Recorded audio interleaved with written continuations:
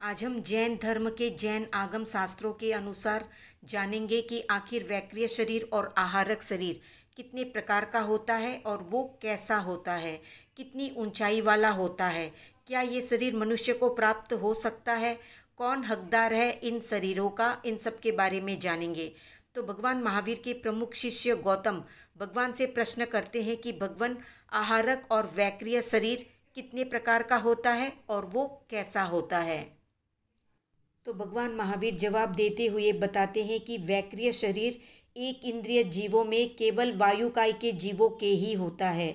विकलेंद्रिय और सम्मूर्छिम तिरंचों के वो नहीं होता है। नारकों में भी वैक्रिय शरीर होता है और देवों में भवनवासी, वानव्यंतर, ज्योतिष्क और अनुतर विमान के सभी देवों में वैक्रिय शरीर होता है।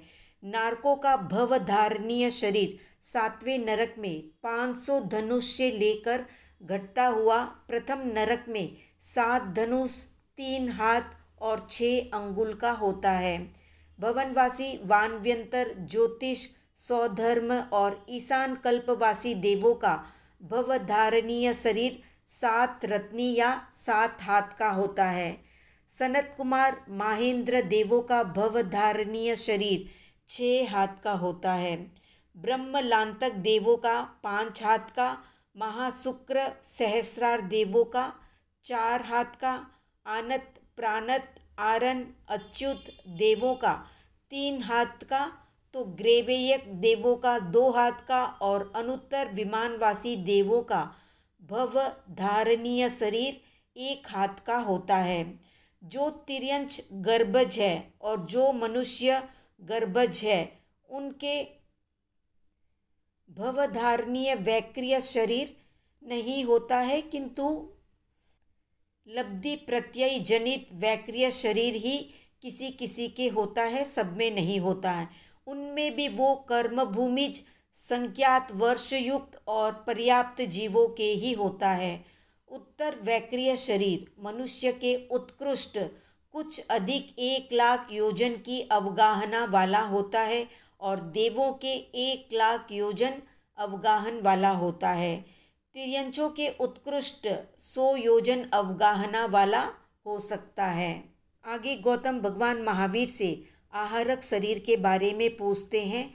तो भगवान जवाब देते हुए बताते हैं कि जब किसी चतुर्दश पूर्वधर अप्रमत साधु या रिद्धि प्राप्त मुनि को ध्यान की अवस्था में किसी गहन सूक्ष्म तत्व के विषय में कोई शंका होती है तो उस समय उस क्षेत्र में केवली भगवान का अभाव होने पर वे आहारक शरीर नाम कर्म का उपार्जन करते हैं और प्रमत संयत होते ही उनके मस्तिष्क से रक्त, मांस, हड्डी आदि से रहित एक हाथ का सफ़ेद वर्ण वाला, मनुष्य के आकार का सर्वांग संपूर्ण पुतला निकलता है और जहाँ भी केवली भगवान विराजते हैं, वहाँ जाकर उनके चरण कमलों का स्पर्श करता है और स्पर्श करते ही वो वहाँ से वापस आकर मुनि के मस्तक में प्रवेश कर जाता है और उनकी शंका का समाधान हो जाता है।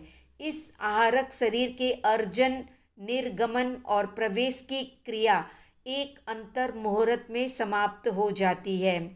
विशेषता ये है कि इसका बंद या उपार्जन सातवें गुणस्थान में होता है और उदय या निर्गमन, प्रवेश आदि की क्रिया छठे गुणस्थान में होती है। आगे गौतम भगवान महावीर से पूछते हैं कि आहारक शरीर कितने प्रकार का होता है? तो भगवान महावीर जवाब देते हुए बताते हैं कि आहारक शरीर एक ही प्रकार का होता है और उसकी जगन्य अवगाहना कुछ कम एक हाथ की होती है और उत्कृष्ट अवगाहना परिपूर्ण एक रत्नी यानी एक हाथ की होती है। और ये आहारक शरीर रिद्धि प्राप्त छठे गुणस्थानवर्ती प्रमत संयत साधु को ही होता है। तो ये थी संक्षिप्त जानकारी समवायांग सूत्र के आधार पर। आज का प्रश्न है, अवधि ज्ञान कितने प्रकार का होता है? कमेंट में बताएँ। वीडियो पसंद आया तो लाइक शेयर सब्सक्राइब करें।